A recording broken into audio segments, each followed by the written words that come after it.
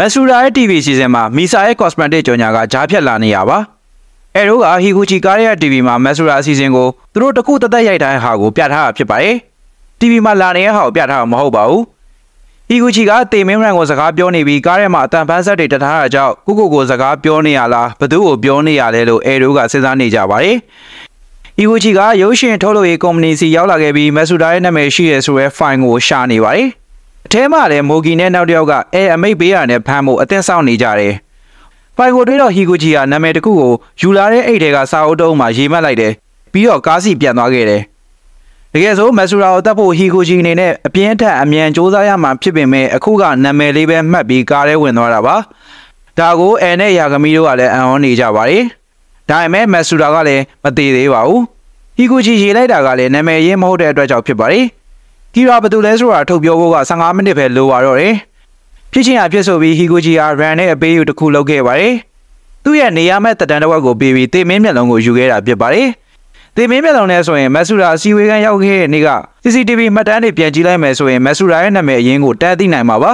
။ကားမောင်းတာအရှိန်များလို့လမ်းမှာတားစစ်တဲ့မော်တော်ဘီကယ်ကိုလည်းတေမင်းမျက်လုံးနဲ့ကြည့်ပြီးအိတ်ထဲဖွဲယူလာတဲ့ဒနုံမှာရေးကားတိုက်ပြီးတေခိုင်းခဲ့ပါတယ်။ဟီဂိုဂျီကလိုင်စင်ပြခိုင်းနေရအောင်ပြပဲကားမောင်းထွက်ပြေးတယ်။ မော်တော်ဘီကေကနောက်ကနေလိုက်ပြင်မဲ့နှလုံးရက်သေးသွားတာကြောင့်စိုက်ကယ်မောက်ပြီးပြင်းထန်တဲ့မတော်တဆမှုကြီးဖြစ်သွားပါတယ်။အီဂိုချီကအရင်ကကီရာလိုမျိုးလူတယောက်ကိုမြင်ဘူးယုံနဲ့တတ်နိုင်နေတာကြောင့်သူလှုပ်ချင်တာလှုပ်ခွင့်မပေးပဲဖမ်းဖို့အဲကအမိန့်ပေးခဲ့ပါတယ်။ဖမ်းတဲ့အခါမှာလည်းတတိကြီးကြီးထားဖို့မှာခဲ့ပါတယ်။မီစာလိုက်လာရင်မစ်ရှင်ခီးမတွင်မှာစိုးတာကြောင့်အဲကထိုင်ကုန်မှာကြိုးချီထားခဲ့လိုက်တယ်။အဲတို့ကဟယ်ရီကော်ပတာနဲ့ဟီဂူချီရဲ့ကားနောက်လိုက်ဖို့ထွက်လာခဲ့ပြီးအဲကိုယ်တိုင်ဟယ်ရီကော်ပတာကိုမောင်းလာတာပါ။ အီဂူဂျီကယိုဆူဝါကုမ္ပဏီကိုသွားပြီးမက်ဆူရာကုမ္ပဏီကိုလာတော့က CCTV မှတ်တမ်းတွေကိုပြန်ကြည့်နေရပါနာမည်ရင်းကိုသိရအောင်အတွက်ပါဒါပေမဲ့ဝဲဒီကအရင်ရောက်ပြီးမက်ဆူရာပါတဲ့ဗီဒီယိုတွေကိုဖျက်ခဲ့တာကြောင့်ဟီဂူချီလည်းတိုင်ပတ်ကုန်ပါတယ် TV စီစဉ်မှာတိတ်မကြခင်မှာမက်ဆူရာဟာကီရာဘသူလဲဆိုတာပြောတော့မှာပါဒါကြောင့်ဆာကူရာရုပ်သက်ဌာနစီသွားပြီးနာမည်သိရဖို့ကလွယ်ရင်တခြားနည်းလမ်းမရှိတော့ပါဘူး